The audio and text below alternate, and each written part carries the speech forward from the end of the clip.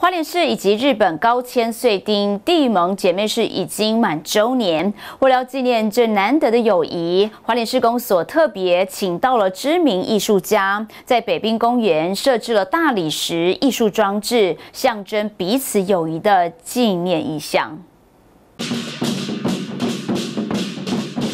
为了纪念花莲市与日本高千穗田地盟姐妹市满周年，花莲市公所二十号上午特别在北滨外环道人行步道自强街口停车场举办了同舟共度遇见契合 ING 艺术装置揭幕仪式。请揭幕！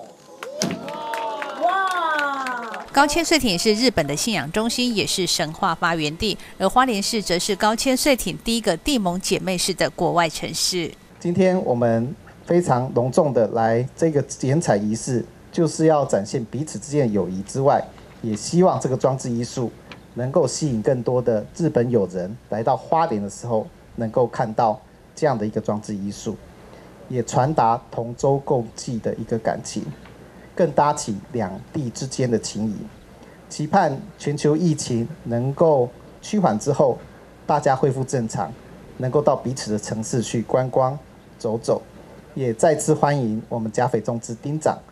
跟我们工藤博志议长再次来到花莲。为了庆祝这份欢喜，花莲施工所这一次制作了与高千穗町地盟周年纪念的名片夹，并且在日前已经把这一份纪念礼寄送到日本。高千穗町町长甲斐中之在收到之后，也特别向花莲市表达感谢，并且录制了影片，对地盟周年活动表达致意。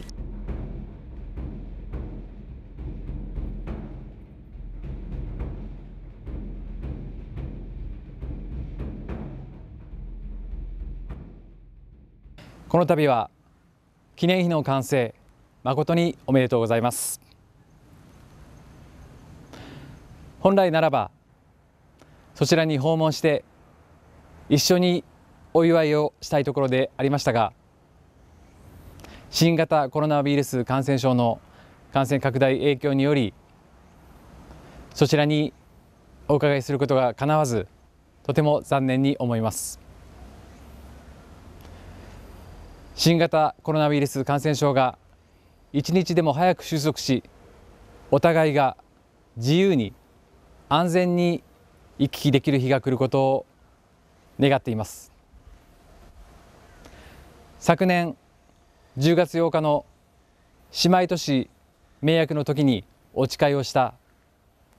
永遠の友情を今後も大切にしながら積極的に交流を促進してまいりましょう。这座艺术装置是由艺术家黄玉荣以及李培道所设计。他们利用两块不同色泽的大理石板，以拼图的意象结合成为一艘扁舟，传达两个城市同舟共渡，也象征了两地友谊的紧密连结。希望彼此间能够更加相知相惜。据徐立群华联市报道。